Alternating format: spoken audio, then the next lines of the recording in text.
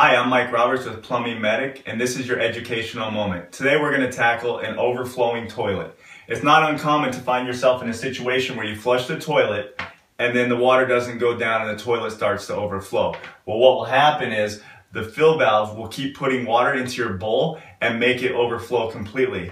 In order to stop that, the first thing you want to do is you want to reach into the back of the tank and lift up on the fill valve. That's the float. Sometimes you'll see a rod with a ball. If, if you see that, lift that up and that will stop the water from flowing.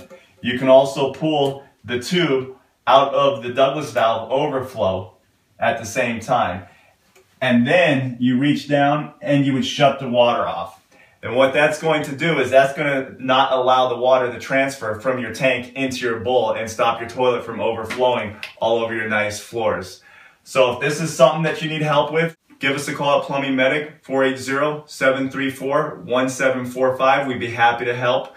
Uh, I'm Mike Roberts with Plumbing Medic, and this has been your educational moment.